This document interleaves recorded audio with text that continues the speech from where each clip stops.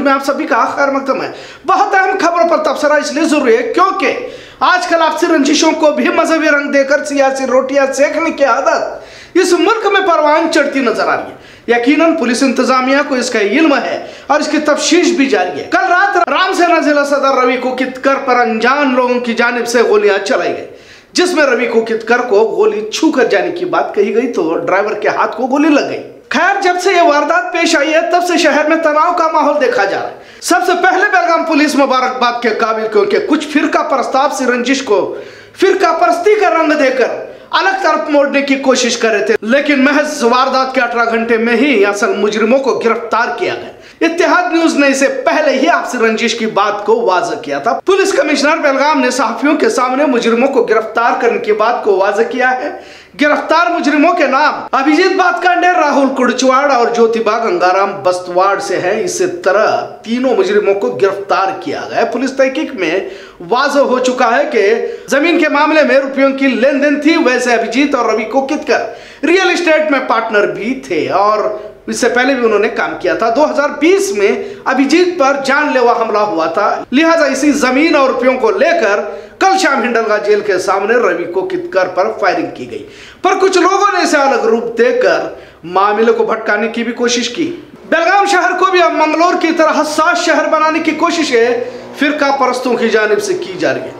इसकी एक और अहम वजह यह भी है कि बेलगाम शहर वैसे भी अमन पसंद शहर के तौर पर पहचाना जाता है, खासकर सरहदी इलाका होने की वजह से। कन्नड़, मराठी तनाजा या फिर कर्नाटक, महाराष्ट्र तनाजा कह सकते हैं, ये काफ़ी पुराना है। और पिछले कुछ महीनों से यह बेहद शिद्दत भी इख्तियार करते हुए देखी गई। हर मामले के भी अलग अलग पहलू होते हैं और आजकल तो हर मामले को सियासी पस मंजर में देखा जा रहा है। खासकर भाजपा या दिगर सियासी पार्टियाँ अपने अपने तौर पर अपना तसल्लुत कायम करने की कोशिश करते रहते हैं नैरेटिव चलाने की कोशिश भी करते रहते हैं। कल जब ये वारदात पेश आई तो बिला वजह कुछ लोगों को इसमें मुफात हासिल करने का मौका मिला। आखिर इस वारदात के पीछे क्या वजह हो सकती है, इस पर मुख्तलिफ़ तबसरे शहर में देखे सुने जा रहे थे। पर तस्वीर आज साफ़ हो गई। वैसे बेलगाम शहर अमन पसंद शहर होने की वजह से यहाँ पर इस तरह की कोई वारदात हो सकती है इसका एक अंदेशा भी नहीं और लिहाजा हमने कल ही कहा था कि आपसे रंजिश की बात हो सकती है। और वो आपसे रंजिश के चलते ही ये फायरिंग की वारदात पेश आई। कल और आज सुबह भी रामसेना के मुखिया को जब मीडिया ने सवाल पूछा तो इस बात को बगल देने की कोशिश करते हुए कहा कि फायरिंग महज हिंदुत्व तंजीम का अपराध होने की बुनियाद पर की गई। लिहाजा एक बार फिर बेलगाम पुलिस इंतजामिया को मुबारकबाद। क्योंकि कुछ फिरका परस्त कुछ मौका तलाश रहे थे, लेकिन इन्हें मौका नहीं दिया गया। आज जो इजलास हिंदुत्व तंजीमों का है, हो सकता है। इसी को बहाना बनाकर कुछ शहर में तशद का भी माहौल बनाने की तैयारी शायद हो सकती थी। लेकिन महज अठारह घंटे के अंदर पुलिस ने मुजरिमों को गिरफ़्तार कर फिरका परस्तों की साजिशों को नाकाम कर दिया है। इसके बावजूद भी रामसेना मुखिया प्रमोद मुतालिक इसके पीछे साजिश होने की बात करता है। इसका क्या मतलब? ज़ाहिर है, इसकी आड़ में जो साजिश थी वो नाकाम हुई है। पर इनकी ख्वाहिश आज भी इसी तरह की है। इससे साबित होता है कि कल भी हम किसी के बंदूक, तलवार को नहीं डरते वाली बात इसी तरफ़ इशारा करती है कि इन्हें अकलियती समाज को निशाना बनाना था।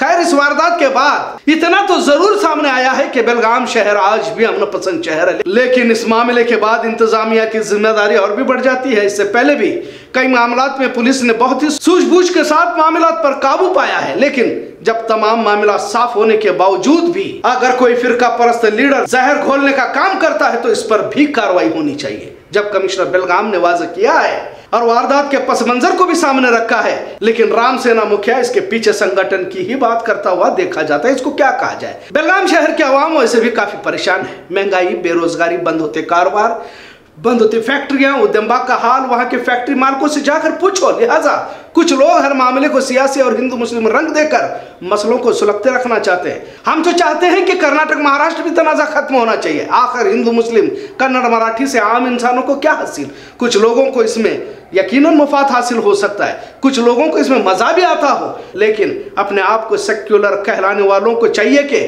कोई भी हो, अगर शहर के अमन को नुकसान पहुँचाने की कोशिश करता है तो इस पर कार्रवाई का मुतालबा करें, क्योंकि शहर, रियासत, मुल्क अमन की फिजा में ही तरक्की कर पाएँगे। अमन को तशद में तब्दील करने वाले महज कुछ ही लोग होते हैं, और इन्हीं का फ़ायदा होता है। इन समाज के दुश्मनों का इंतज़ाम भी समाज के लोगों को ही करना पड़ेगा, वरना आपसी रंजिशों को भी हिंदू मुस्लिम का रंग देकर जहर घोलने वाले फिरका परस्त वैसे भी तैयार बैठे हैं, इतना ज़रूर है। संजय ಸುಮಾರು ಏಳುವರೆ ಅಷ್ಟೊತ್ತಿಗೆ ಬೆಳಗಾವಿ ಕ್ಯಾಂಪ್ ಪೊಲೀಸ್ ಠಾಣೆ ವ್ಯಾಪ್ತಿಯ ಒಂದು ಬಾರ್ಡರ್ ನಮ್ಮ ಬೆಳಗಾವಿ ಕ್ಯಾಂಪ್ ಪೊಲೀಸ್ ಠಾಣೆ ಮತ್ತು ಮತ್ತು ಬೆಳಗಾವಿ ರೂರಲ್ ಪೊಲೀಸ್ ಠಾಣೆದ ಒಂದು ಬಾರ್ಡ್ರ್ನಲ್ಲಿ ಹಿಂಡಲ್ಗಾಲ್ ಒಂದು ಹಂಪತ್ರ ಬೆಳಗಾವಿಯ ಶ್ರೀರಾಮ್ ಸೇನೆ ಡಿಸ್ಟಿಕ್ ಪ್ರೆಸಿಡೆಂಟ್ ರವಿ ಕೋಕಿತ್ಕರ್ ಮತ್ತು ಅವರ ಸಂಗಡಿಗರು ಒಂದು ಫೋರ್ ವೀಲರಲ್ಲಿ ಹೋಗಬೇಕಾದ್ರೆ ಅಲ್ಲಿ ಒಂದು ಹಂಪ್ ಇರುತ್ತೆ. ಆ ಹಂಪ್ ಹತ್ರ ಟೂ ವೀಲರಲ್ಲಿ ಮೂರು ಜನ ಬರ್ತಾರೆ. ಬಂದು ವೆಹಿಕಲ್ ಸ್ಲೋ ಆದಾಗ ಮುಂದೆಗಡೆ ರವಿ ಕೋಕಿಕ್ಕರ್ ಕೂತ್ಕೊಂಡಿದ್ದಾಗ ಗ್ಲಾಸಿಂದ ಫೈರ್ ಮಾಡ್ತಾರೆ. ಒಂದು ಫೈರ್ ಆರ್ಮಿಂದ ಮಾಡಿದಾಗ ಅವನಿಗೆ ಚಿನ್ಗೆ ಟಚ್ ಆಗಿ ನಂತರ ಅದು ಡ್ರೈವರ್ಗೆ ಕೈಗೆ ಹೊಡೆದಿರ್ತದೆ. ತಕ್ಷಣ ಅವನ ಆಸ್ಪತ್ರೆಗೆ ಸೇರಿಸಲಾಗಿ ಅಲ್ಲಿ ಡಾಕ್ಟರ್ಸ್ ಟ್ರೀಟ್ಮೆಂಟ್ ಮಾಡಿರ್ತಾರೆ. ಅವ್ರು ಔಟ್ ಆಫ್ ಡೇಂಜರ್ ಅಂತ ಡಾಕ್ಟರ್ ಡಿಕ್ಲೇರ್ ಮಾಡಿ ಅವರು ಚಿಕಿತ್ಸೆ ಪಡೆಯುತ್ತಾ ಇದ್ದಾರೆ. ನಮ್ಮ ಅಧಿಕಾರಿಗಳು ಎಲ್ಲರೂ ಸಹ ಭಾಳಷ್ಟು ಬೇಗ ಕಾರ್ಯಪ್ರವೃತ್ತರಾಗಿ ಒಂದು ಪ್ರಕರಣ ದಾಖಲಿಸ್ಕೊಳ್ಳುವಂಥದ್ದು, ಮತ್ತು ಸ್ಥಳಕ್ಕೆ ಎಫ್ ಎಸ್ ಎಲ್ ಟೀಮ್ಸ್ ಬರುವಂಥದ್ದು.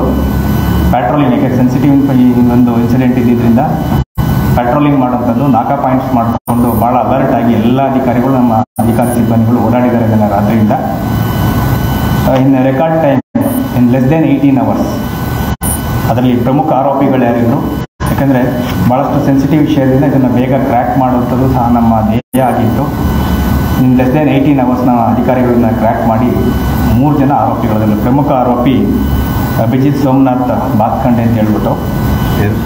ಅಭಿಜಿತ್ ಸೋಮನಾಥ್ ಮಾತ್ಕಂಡೆ ಬೆಳಗಾವಿ ನಗರ. ಪಾಟೀಲ್ ಮಾಳ ಬೆಳಗಾವಿ ನಗರ. ರಾಹುಲ್ ಕೋಡ್ಚವಾಡ್ ಅಂತ ಬಸ್ತವಾಡ ಹತ್ರ.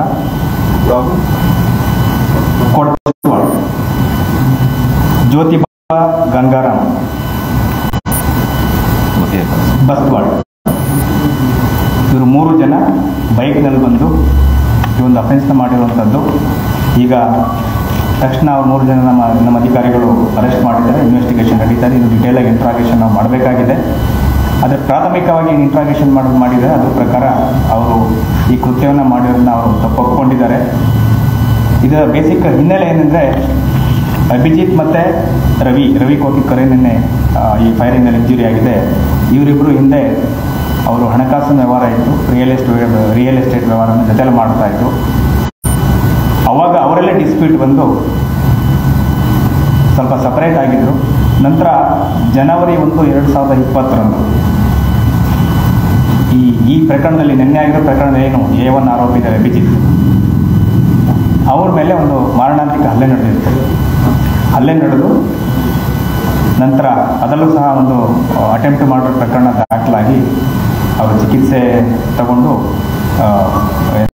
ರಿಕವರಿ ಆಗಿರ್ತಾರೆ. ಅದರಲ್ಲಿ ಪ್ರಮುಖ ಆರೋಪಿ ಏನು ನಿನ್ನೆ ಇಂಜುರಿ ಆಗಿದೆ?